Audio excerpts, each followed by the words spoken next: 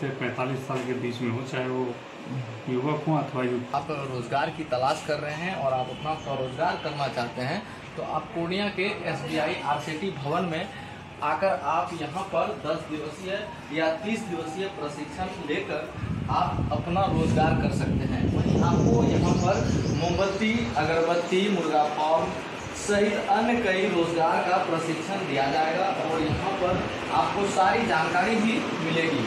आइए हम जानते हैं यहाँ पर जो मौजूद निदेशक हैं कि क्या कुछ है और कितने शैक्षणिक योग्यता की ज़रूरत होंगे। सर कोई भी बेरोजगार युवक युवतियाँ अगर शिक्षित है तो किस तरह प्रशिक्षण कर अपना रोज़गार कर सकते हैं? स्वरोजगार के लिए प्रशिक्षण दिया जाता है। स्वरोजगार में वैसा व्यक्ति जो 18 साल से 45 साल के बीच में हो चाहे वो युवक हों अथवा युवतियाँ हों वो इसको स्वरोजगार कर सकते हैं और मिनिमम जो एजुकेशनल क्वालिफिकेशन है वो क्लास एट से है। अच्छा। और इसमें हर तरह की ट्रेनिंग दी जाती है इकसठ तरह की है कुल। इसमें कि आपसे संबंधित घरेलू संबंधित हो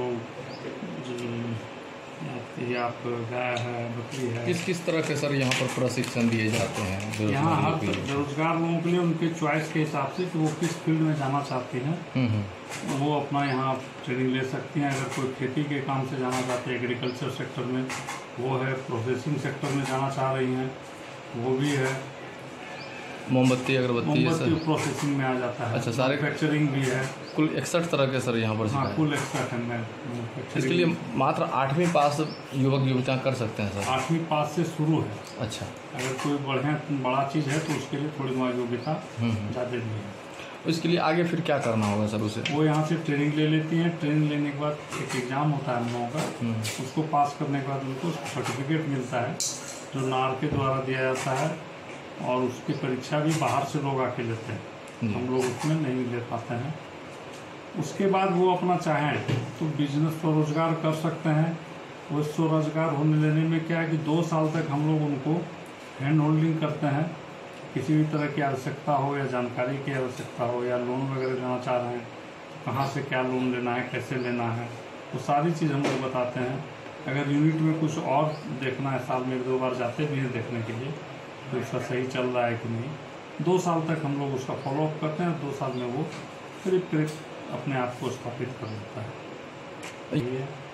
इसके लिए क्या कोई तरह का फ़ीस वगैरह भी नो कोई नहीं है सबसे बड़ी बात है भारत सरकार के द्वारा जो ये दिया गया एक बहुत बड़ा राहत है कि किसी भी तरह का फ़ीस न तो एडमिशन में न ट्रेनिंग के दरमियान न खाने में न रहने में इवन ट्रेनिंग मटेरियल्स भी हम लोग जो देते हैं उसमें उसको कोई फ़ीस नहीं है।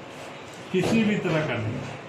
आप हम्म, यहाँ हम लोग भी टांग के रखते हैं कि किसी भी तरह का पैसा से यहाँ काम नहीं सर अगर किन्हीं लोगों को जानकारी फ़ोन पर लेनी हो इस। चीज़ों की फ़ोन पे हमारा जो नंबर वो हर ब्लॉक में ब्लॉक का जितना भी हेडक्वार्टर है सब में हमारा ये पूरा डिटेल्स गया हुआ है पम्पलेट लगा हुआ है बैनर लगा हुआ है। मुख्य मुख्य जगहों पर हमारे बैनर्स लगे हुए हैं। पम्पलेट के द्वारा हम लोग जब किसी गाँव में जाते हैं ये करने के लिए वहाँ बंटवाते हैं। हमारे जो प्रशिक्षण लेके यहाँ से लोग जाते हैं उनके द्वारा भी हम लोग गाँव में भिजवाते हैं। विशेष जानकारी के लिए यहाँ संपर्क कर सकते हैं। विशेष जानकारी के लिए फॉर्म भरने के लिए यहाँ कर रहे हैं या फिर ईमेल से भी कुछ लोग करते हैं हम लोगों को अच्छा। कि हम फलाने कोर्स में करना चाह रहे हैं आप हमको गाइड कीजिए हम लोग उससे उसको फ़ोन पे सारी बात समझा के फिर ज़रूरत पड़ने पे बुला के फिर एक इंटरव्यू लेते हैं। उनकी चॉइस को देखते हुए लोग को ट्रेनिंग दे देते हैं। विशेष जानकारी के लिए आप पूर्णिया के एस बी भवन पहुंचकर आप सारी प्रशिक्षणों पर पूरी जानकारी लेकर आप भी प्रशिक्षण कर सकते हैं।